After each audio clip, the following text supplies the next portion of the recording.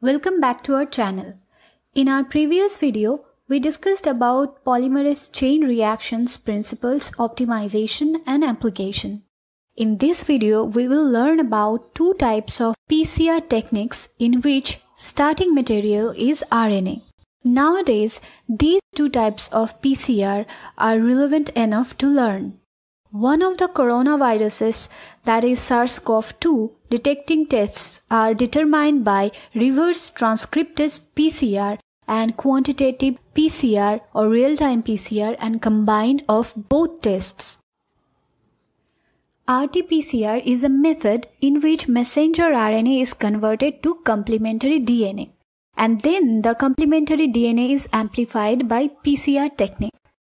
This is reversed manner of central dogma where typically DNA goes into transcription to form RNA. It is a very sensitive technique for detecting the quantifying messenger RNA.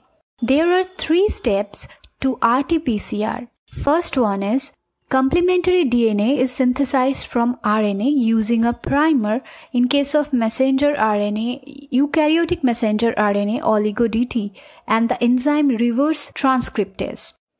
Second step of RT-PCR technique is that specific complementary DNA is amplified by PCR using suitable primers which are complementary to the two ends of the molecule along with control temperature with specific time which represents the denaturation, annealing and extension and these produce the expected products.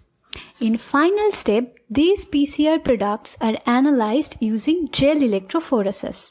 In the first step, we must learn about the synthesis of complementary DNA briefly. Complementary DNA molecules are made in a two-step process. In the first step, messenger RNA molecules are used as a template for the production of a DNA partner strand. I am going to elaborate this process in regarding with eukaryotic mRNAs. So the primer is different for polyadenylated mRNAs and there are two other primers like random hexamers and gene specific primers these are used in case of other types of RNAs, mainly the prokaryotic RNAs. So this step uses reverse transcriptase, an enzyme that synthesizes a DNA molecule using RNA as a template. And the polyadenylated mRNAs can be purified from a mixture of cellular RNAs by passing the RNA molecules over a column to which short chain deoxythymidylic acid, also called as oligo-DT, chains have been attached. As the RNA molecules pass through the column, the poly-A tails on the mRNA molecule's base pair to the oligo-DT chains. As a result, the mRNAs are captured on the column while the other RNA pass through. The captured mRNA are released and collected by decreasing the ionic strength of the buffer passing through the column so that the hydrogen bonds are disrupted. After the mRNA has been isolated, the first step in complementary DNA synthesis is annealing a short oligo-DT primers to the tail. The primer is extended by reverse transcriptase eh, used in labs like superscript 2 or MMLV or etc. to make a DNA copy of the mRNA strand and the result is a DNA mRNA double-stranded molecule. Now the, there is RNase H, a type of ribonuclease, and DNA polymerase 1 and DNA ligase are used to synthesize the second DNA strand. This RNase H partially degrades the RNA strand in the hybrid DNA mRNA and the DNA polymerase 1 makes new DNA fragments using the partially degraded RNA fragments on the single stranded DNA as primers. And finally, the DNA ligase ligates the new DNA fragments to make a complete chain.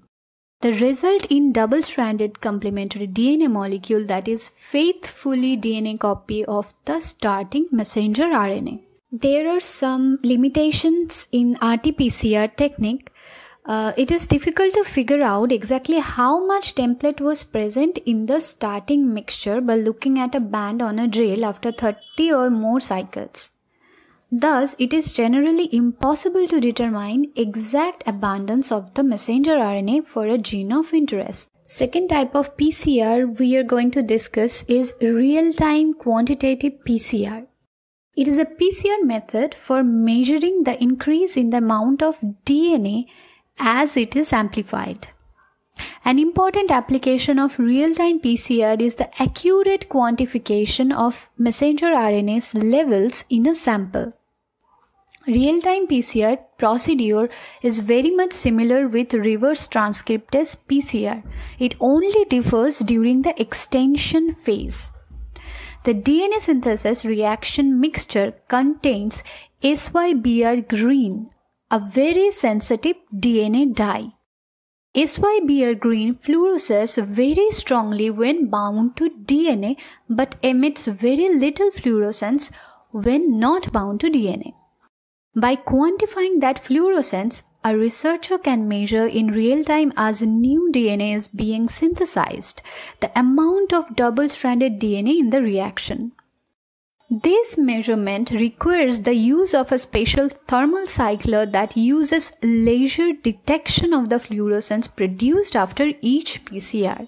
The rate of production of SYBR green labeled amplified DNA is compared with controls that contain known amounts of a control messenger RNA. Both of these techniques as in combined or individually is used either for testing for the presence of a particular RNA.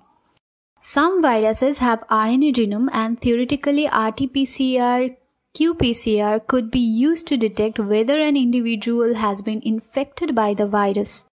The viruses like HIV, measles, mumps virus and very recently the world is facing pandemic for coronavirus disease the detection of COVID-19 virus. That's it for today's video. If this video is helpful to you, please like and subscribe our channel.